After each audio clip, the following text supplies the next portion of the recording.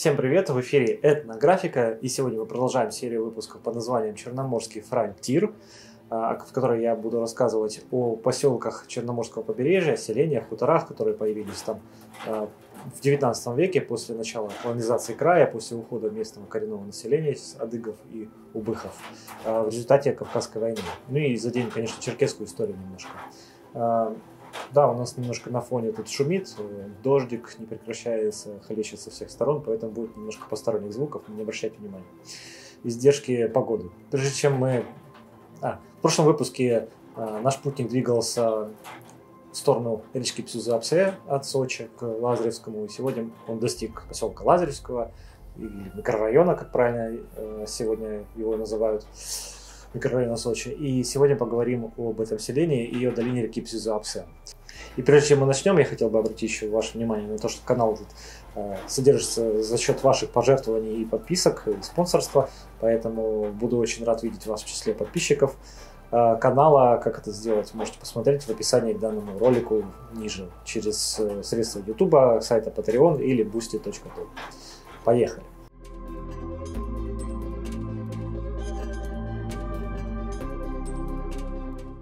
Местность, э, на которой находится сегодня селение Лазаревское, в прошлом у адыков была известна как э, Вайя, долина Вайя. В прошлом она была болотистая весьма, и поэтому местные адыги-шапсуги селились в основном на окрестных холмах, они, конечно, не в устье реки, на этих равнинах прибрежных. Их использовали только для выпаса скота или для ведения каких-то хозяйственных дел.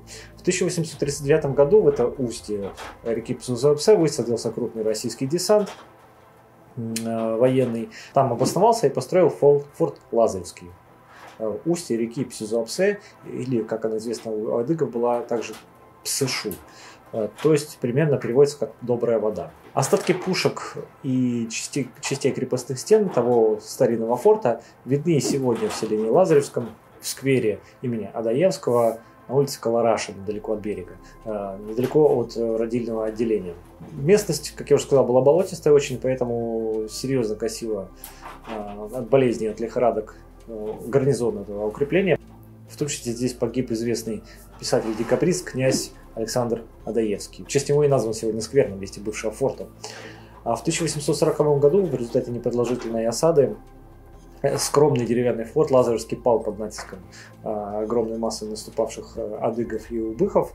Многие погибли, многие тогда попали в плен, выкупили их только через полгода, когда новый десант высадился на побережье, построил более укрепленный форт и прошел с огнем и мечом очень жестко по э, дальней реке Пзузапсе, сжигая на своем пути а, аулы адыгов, не разбираясь особо там, кто прав, кто виноват.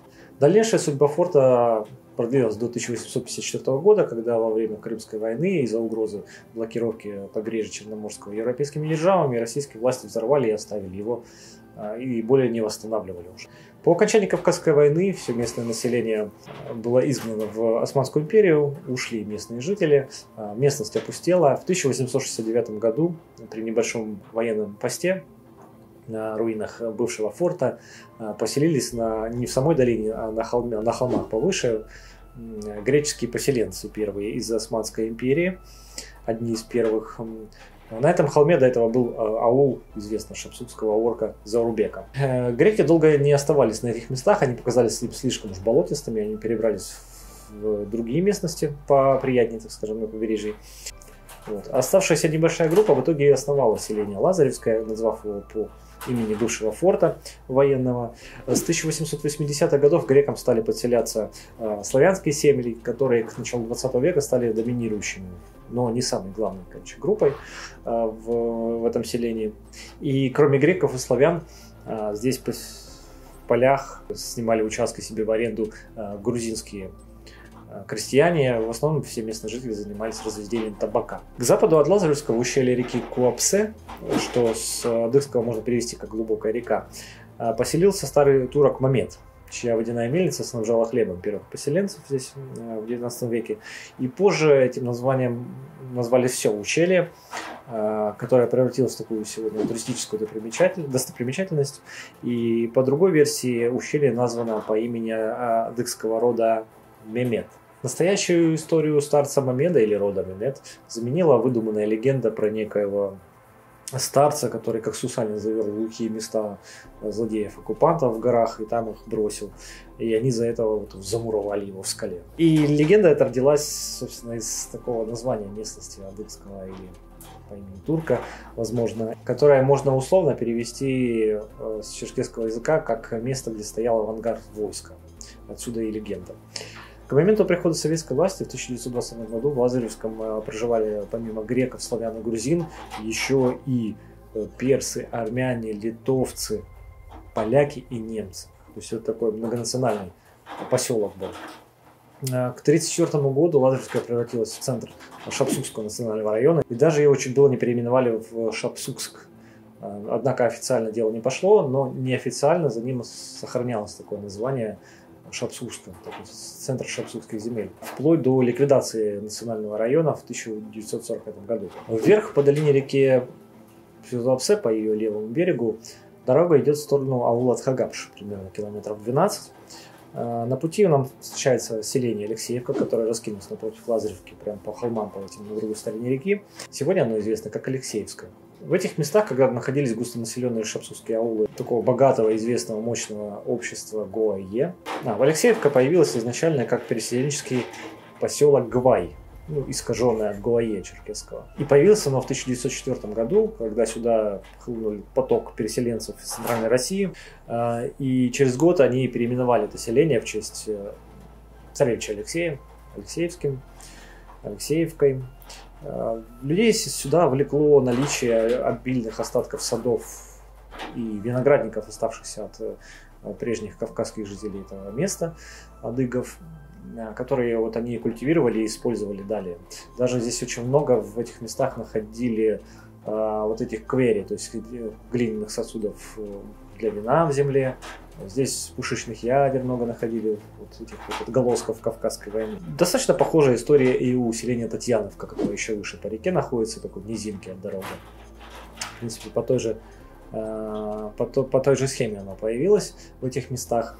Далее дорога проходит, петляет так по горному ущелью и спускается в аул Хагапш, чьи серо-черные богатые минералами горы ни с чем не перепутать. Аул Хагапш появился после Кавказской войны, как и Большой Кичмай, как э, и будем еще говорить о Хаджико, это хакучи, то есть те, кто сбежал в горы э, и не, не принял ультиматум российских властей, долгое время вел сопротивление, вот те семьи и отдельные личности, э, они потом постепенно в течение 10 лет спускались в селение Лесное, поселялись, сдавались российским властям, селение Лесное на Мзымте, к ним присоединялись там представители из Абазин, Абхазов, Убыхов, с Кубани возвращались куда-то. И вот этой вот из этой смеси, грубо говоря, э, в 1876 году выходцы, они, когда им разрешили вернуться в родные долины, они вот перешли, э, основали Большой Кичмай и основали в том числе Тхагапш э, на старом месте, где жили их предки. Но возникла какая проблема? Первые поселенцы этого аула во время последней русско-турецкой войны в 1877-78 годах единственные выступили на стороне турок. Турки проиграли, и, естественно, боясь расплаты за предательство, люди сбежали в горы, потом были, их переловили и, и выселили на Кубань. А, несколько семей все-таки сумели сохраниться в горах, потом получили прощение и вернулись на место, но это были уже не такие уж значительные семьи. А такое полуопустевшее местечко на месте Тхаргамша заселили выходцы из аула Хаджико, которые находятся всего в 10 километрах по лесной дороге. И вот охотники, заприметив опустевшие места, стали потихонечку переселяться, потому что все-таки мало земли было, не хватало молодым семьям. Вообще же, после, если вернуться немножко назад, к событиям по, сразу после Кавказской войны. Здесь появился в 1964 году пост военный, а, военный пост первого Кавказского батальона, который, э, при котором в том числе жили, э, жил ряд семей, присоединившихся позже к купчам из лесного. А пост назывался «Божьи воды» в честь мелкой речушки, находящейся, находящейся сегодня на территории аула, при которой стоял военный лазарет.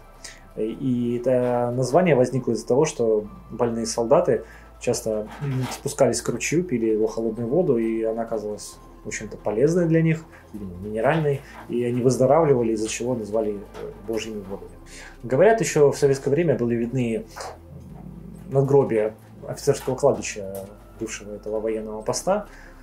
Так сегодня их почти не осталось, но известна одна единственная могила младенца Зазулевского, польского, сына польского офицера, которого здесь похоронили, и якобы у него были хорошие отношения с местными жителями, так что они обязались ухаживать за могилкой вот этого младенца, этого офицера. И до сих пор чтят эту память, до сих пор ухаживают за ним.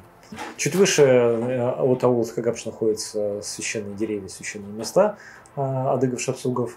Там же находится ущелье с горным потоком туристическое, куда приезжают по огромным валунам погулять, посмотреть на эти водопады туристы.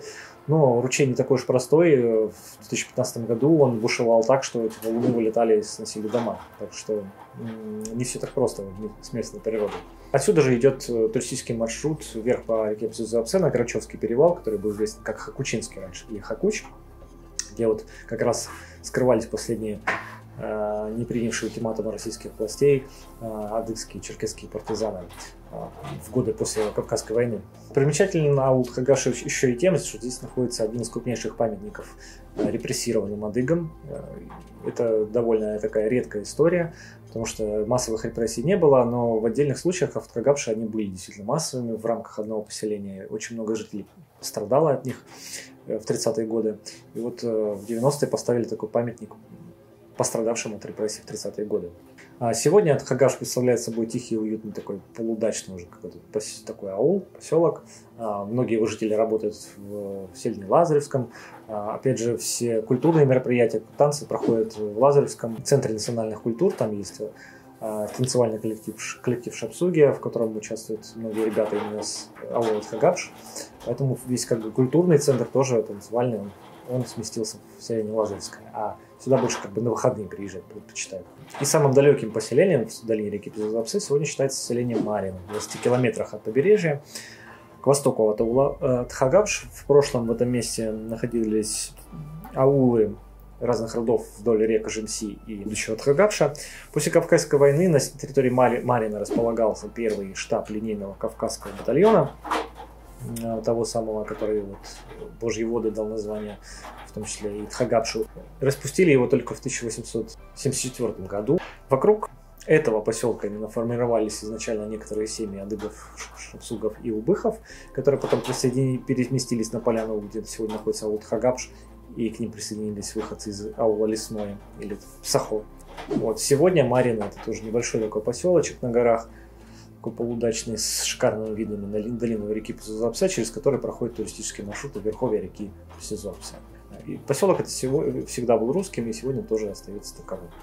На этом все.